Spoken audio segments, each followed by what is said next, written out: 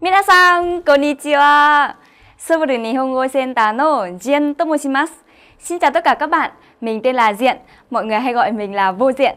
Mình sẽ là người đồng hành cùng với các bạn trong khóa online N5 lần này. Hy vọng các bạn sẽ có những giờ học thật là vui vẻ và thú vị. Hãy không để các bạn chờ lâu hơn nữa, chúng ta sẽ bắt đầu ngay và tìm hiểu ngôn ngữ Nhật. Hãy, ikimasho! Các bạn hiểu như thế nào về ngôn ngữ Nhật ạ? Ngôn ngữ Nhật là một ngôn ngữ có nhiều bảng chữ cái nhất trên thế giới. Thứ nhất, chúng ta có bảng chữ cái hiragana hay còn gọi là chữ mềm dùng để ghi các từ gốc Nhật. Thứ hai, chúng ta có bảng chữ cái katakana hay còn gọi là chữ cứng. Chữ cứng của chúng ta dùng để phiên âm các từ vựng ngoại lai. Và cuối cùng, đó chính là chữ Hán hay còn gọi là kanji. Kanji được du nhập từ Trung Quốc. Hãy trong tiếng Nhật của chúng ta thì có các cấp độ như sau. Đầu tiên, đó là cấp độ N5 sẽ là cấp độ thấp nhất. Tiếp theo chúng ta sẽ có N4, N3, N2 và cuối cùng đó chính là N1. N1 sẽ là cấp độ cao nhất. Hãy học bất kỳ một ngôn ngữ nào cũng như vậy. Ban đầu các bạn sẽ cảm thấy là bỡ ngỡ, đôi khi còn cảm thấy nản lòng. Tuy nhiên mình tin rằng chỉ cần các bạn kiên trì và chăm chỉ thì nhất định sẽ chinh phục được tiếng Nhật. I desu ka. Hãy, chúng ta sẽ bắt đầu ngay vào tìm hiểu bảng chữ cái hiragana. Hãy, ikimashou! Các bạn nhìn qua, đây chính là bảng chữ cái hiragana của chúng ta. Kawaii desu yo ne, minasan. Rất là đáng yêu đúng không ạ? Bảng chữ cái hiragana của chúng ta thì có tổng cộng 46 chữ cái. Mỗi hàng có có 5 chữ cái, ví dụ như a, i, u, e và cuối cùng là o hay 5 chữ cái. Và mình sẽ lấy âm đầu tiên của các hàng để đặt tên cho hàng đó. Ví dụ như hàng này sẽ là hàng A. Tiếp theo, hàng này sẽ là hàng Ka. Tsugi, hàng Sa, hàng Ta, hàng Na, hàng Ha. Và tương tự chúng ta sẽ có hàng Ma, Ya, Ra và cuối cùng là Wa. I? Ngoài các âm cơ bản này ra, chúng ta còn có âm ghép này, âm đục này, âm dài này hay còn gọi là trường âm và cuối cùng là là âm ngắt. Hay, và khi viết bản chữ cái hiragana các bạn nhớ là tuân thủ nét viết cho mình. Đó chính là từ trái sang phải và từ trên xuống dưới. I? Các bạn nhớ là chuẩn bị cho mình một tờ giấy có thật nhiều ờ, thật nhiều ô vuông và khi viết các bạn nhớ là phải phát âm cùng để cho chúng ta thứ nhất là không quên mặt chữ và thứ hai là không quên cách đọc. Ideska desu là minasan? Chúng ta sẽ bắt đầu ngay vào hàng đầu tiên. Hãy! Ikimashou! Hàng đầu tiên của chúng ta chính là hàng A. Ideska. Lần lượt chúng ta có, âm đầu tiên là là âm A mọi người nhé. Âm A của chúng ta tưởng dễ mà khó, bởi vì sao? Trong tiếng Việt, người ta phát âm âm A hơi dài và thoát ra bên ngoài, nhưng trong tiếng Nhật, âm A lại lấy hơi từ dưới bụng và phát âm ở cổ họng. Các bạn hãy theo dõi mình phát âm và phát âm cùng với mình nhé. A A A ý desu ka? Ngoài ra mình có một tip để cho các bạn phát âm chuẩn âm A hơn đó chính là các bạn cho ba ngón tay kẹp vào như thế này và cho vào miệng. A A ý desu ka? Hãy chúng ta sẽ bắt tay vào vào từng nét viết đầu tiên. Nét thứ nhất của chúng ta, từ trái sang phải và chích lên bên trên một chút. Nét thứ hai, từ trên xuống dưới và hơi cong một chút mọi người nhé. Đây là nét số 2. Đấy, nét số 1, nét số 2. I desu ka? Mọi người để ý nét số 3 này. Phần này phải phải nhỏ hơn phần này mọi người nhé. Mọi người nhớ lưu ý âm A là như thế. Đây là nét số 3. Hãy mỗi cái kakimashou. Mình sẽ viết thêm một lần nữa. Hãy nét thứ nhất, nét thứ hai và cuối cùng là nét thứ ba. Hãy đây là âm A của chúng ta. Ngoài ra, các bạn có thể nhớ âm A theo hình ảnh. Đó chính là cái anten ở trên mái nhà. Ideska. Nét thứ nhất của chúng ta chính là cái chiều ngang mà để ờ, quay đông tây nam bắc dò cái kênh mà mình muốn. Và nét thứ hai chính là cái cột. Nét thứ ba chính là cái dây á Hãy, A trong anten. ten desu? Hãy, chúng ta sang âm thứ hai trong hàng A. Đó chính là âm âm Y. Âm Y của chúng ta viết rất là đơn giản. Nét thứ nhất này. Nét thứ nhất từ trên xuống và hất lên một chút. Nét thứ hai Đấy, ideska. Mọi người để ý là nét thứ hai của chúng ta phải phải ngắn hơn so với so với nét thứ nhất, ideska. Hoặc là các bạn có thể nhớ âm y theo một cách Đó chính là hai con lươn đang bơi thi với nhau. Một con thì bơi, bơi dài hơn và một con thì bơi, bơi ngắn hơn. Hãy, đây là âm y. Chúng ta sang âm số 3. Đó chính là âm u. Âm u mọi người nhớ là phát âm vẫn theo nguyên tắc cũ, đó chính là phát âm ở cổ họng và môi của chúng ta hơi chu ra một chút mọi người nhé. Hãy, hãy theo dõi mình phát âm này. U, u, u, i desu ka? Còn về cách viết thì rất là đơn giản. Nét thứ nhất giống như là dấu huyền trong tiếng Việt. Đấy, nét thứ nhất. Nét thứ hai thì mọi người để ý, nét thứ hai của chúng ta giống nửa hình trái tim không ạ? Thì đây chính là nét thứ hai của âm u. Đấy, nét thứ hai. I desu ka? Đấy, môi cài. Nét thứ nhất, nét thứ hai. Ideska. Ngoài ra, các bạn có thể nhớ âm u theo theo hình ảnh. Hình ảnh gì ạ? Nét thứ nhất của chúng ta tưởng tượng là là cái đầu của một anh chàng và nét thứ hai chính là thân hình của anh ấy đang kéo một đồ rất là nặng và anh đó phát ra âm thanh ư ư nặng quá. Ideska. Đây chính là âm ư. Hay âm tiếp theo của hàng A chính là chính là âm âm E mọi người nhé. Âm E của chúng ta, nét viết thứ nhất cũng giống như âm âm U, chính là nét huyền này. Nét thứ hai mọi người có để ý là gần giống chữ Z không ạ? Hay, chữ Z. Và đến đây mọi người không nhấc bút mọi người nhé. Và chúng ta lượn, lượn sóng. Đây chính là âm E. Hãy mình sẽ viết thêm một lần nữa. Nét thứ nhất, nét huyền. Nét thứ hai chính là âm Z. Hãy, i desu? Tưởng tượng, các bạn tưởng tượng này, hình dung này. Nét thứ nhất của chúng ta là đầu người này. Nét thứ hai là chân này và tay của một anh chàng đang đi tập thể dục. Ê, có anh chàng đang đi tập thể dục kìa. Đấy chính là âm E, ideska ấy sang âm cuối cùng của hàng A chính là âm O. Nét thứ nhất của chúng ta mọi người để ý này. Từ trái sang phải. Nét thứ hai từ trên xuống dưới.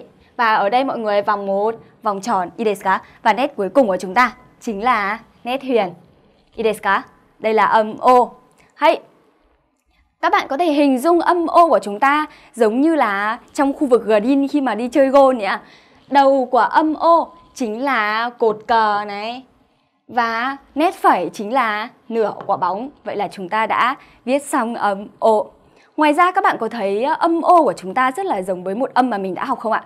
Đó chính là âm A mọi người nhé. Mình sẽ viết lại âm A để cho các bạn theo dõi kỹ hơn. Hãy âm A nét thứ nhất này, nét thứ hai và cuối cùng là nét thứ ba. Vậy điểm khác biệt với âm ô là gì? Nét thứ nhất thì vẫn giống nhưng nét thứ hai đến đây chúng ta phải vòng một vòng tròn. Nhớ mọi người nhé, không được nhấc bút giống âm A mà phải vòng luôn một vòng tròn. Và điểm khác biệt số 2 đó chính là âm O có nét phẩy. Đấy. Đây là âm O, còn đây là âm âm A. Ngoài ra, mình có đưa ra một ví dụ để cho các bạn dễ phân biệt âm A và âm O hơn. Đó chính là ví dụ màu xanh mọi người nhé. Màu xanh trong tiếng Nhật sẽ kết hợp bởi nguyên âm A này, nguyên âm O và cuối cùng là nguyên âm Y. Phát âm là aoi, aoi. Hay, âm A của chúng ta. Còn âm O thì thì có nét phẩy mọi người nhé. Hay, aoi, aoi là màu xanh. Và thêm một từ vựng nữa, đó chính là không. Không như ví dụ như là mình sẽ hỏi các bạn là uh, các bạn có muốn ăn kẹo không? Khi các bạn trả lời là không thì trong tiếng Nhật sẽ trả lời là ie, ie kết hợp bởi hai nguyên âm i và một nguyên âm e. Hay. Đấy, ie. Vậy là chúng ta đã học xong hàng đầu tiên trong bảng chữ cái Hiragana. Chúng mình sẽ cùng nhau sang hàng tiếp theo, hàng số 2. Đó chính là hàng ka. Lần lượt chúng ta có âm đầu tiên chính là âm ka. Mọi người để ý này, nét viết thứ nhất. Đến đây chúng ta hất một một chút, nét viết thứ hai.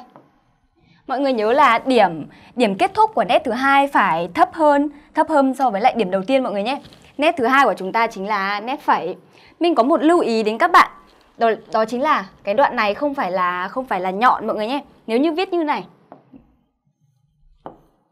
là chỉ gầy masu là sai ạ. Hoặc là các bạn viết cũng chỉ gầy masu mà hai cái nét này nó phải gần như là song song với nhau. Mọi người nhớ để ý âm kha mọi người nhé. Hay hoặc mọi người có thể nhớ âm kha giống như là cái diều ấy cái diều thì chúng ta có cái khung này thì chính là chính là cái nét thứ nhất và nét thứ hai và dây của chúng ta chính là nét thứ ba. Vậy là chúng ta đã học xong âm âm kha. Hay, tsugi desu yo ne, chính là âm âm ki. Âm ki nét thứ nhất và nét thứ hai gần như song song với nhau. Hay, nét thứ nhất, nét thứ hai và nét thứ ba từ trên xuống dưới và check sang bên phải một chút. Hay, và hất lên một chút. Nét cuối cùng của chúng ta gần như là chữ C ấy ạ. hãy nét cuối cùng, đây là âm khi Âm khi còn có một cách viết khác. Đấy chính là nét thứ nhất, nét thứ hai thì vẫn giống với lại cách viết cũ. hãy nét thứ nhất, nét thứ hai và nét cuối cùng của chúng ta. Khi đến đây mọi người không nhấc bút mọi người nhé, không nhấc bút mà chúng ta vòng luôn, vòng luôn chữ C. Đấy, đây là hai cách viết của âm khi Ki, i desu? Các bạn có thấy âm khi của chúng ta giống y hệt như cái chìa khóa không ạ? Khi mà muốn nhớ âm khi thì các bạn có thể nhớ đến khi trong tiếng Anh. Hey, i desu? Âm thứ ba của hàng ka, hey, chúng ta sẽ sang âm thứ ba. Đó chính là âm khư. Các bạn có thấy âm khư của chúng ta chỉ có một nét duy nhất và nó giống với dấu gì trong toán học không ạ? Chính là dấu nhỏ hơn mọi người nhé. Hãy viết rất là đơn giản. Một nét chính là nhỏ hơn. Đấy, đây chính là âm khư. Các bạn có thấy âm khư của chúng ta gần giống như là cái mỏ của con chim không? Cái mỏ của con chim ấy, nó kêu khúc cư, khúc cư, desu Đấy chính là âm âm khư. Đấy, sang âm tiếp theo của hàng kha đó chính là âm âm kệ. Mọi người hãy cùng phát âm với mình. Kệ, kệ. Hãy còn về cách viết thì nét thứ nhất từ trên xuống dưới. Từ trên xuống dưới. Nét thứ hai là nét sổ ngang từ trái sang phải. Hãy nét thứ hai. Và nét cuối cùng của chúng ta cũng là từ trên xuống dưới.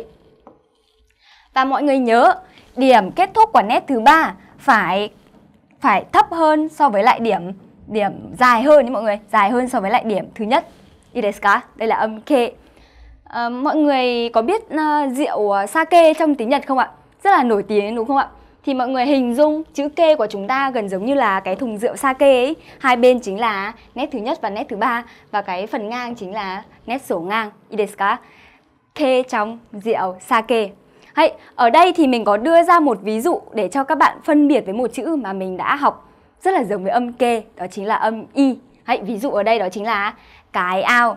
Cái ao sẽ kết hợp bởi nguyên âm y và nguyên âm kê. Chúng ta phát âm là ike, kê, Hay, kê các bạn có thấy âm âm y của chúng ta rất là giống với ờ, cách viết của âm kê không ạ? Thì các bạn nhớ lấy ví dụ cái ao thì chúng ta sẽ nhớ được cách phân biệt của âm y và âm kê thôi ạ. Hãy y desu ka? Âm cuối cùng của hàng ka đó chính là âm khộ khộ Nét viết cũng rất là đơn giản. Nét thứ nhất từ trái sang phải và đến đây chúng ta hất một chút. Nét thứ hai.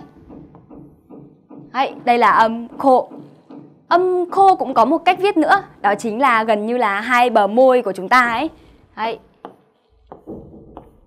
Ideska, đây chính là cách viết thứ hai. Mình có một uh, lưu ý về cách viết mọi người nhé. Nét thứ nhất của chúng ta bởi vì uh, hiragana là chữ mềm mà cho nên chúng ta viết càng mềm mại thì càng tốt chứ không phải là viết gạch ngang như thế này và hất âm khô như thế này là sai rồi ạ.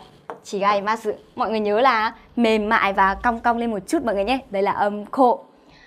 Hoặc mọi người có thể nhớ âm cô qua hình ảnh đó chính là quả táo khi mà chúng ta cố ấy, cố ăn hết một quả táo chỉ chừa lại vài cái hạt và gân quả táo thì âm khô ở đây nét viết của âm khô chính là nét bên trên và và cái đáy của quả táo ấy vậy là chúng ta đã học được âm khô đấy i ở đây mình có đưa ra một ví dụ có chứa âm khô đó chính là chỗ này ở đây chỗ này ở đây sẽ ghép bởi hai âm khô phát âm là khô cộ khô cộ Hay, i Vậy là chúng ta đã học xong hàng thứ hai trong bảng chữ cái hiragana.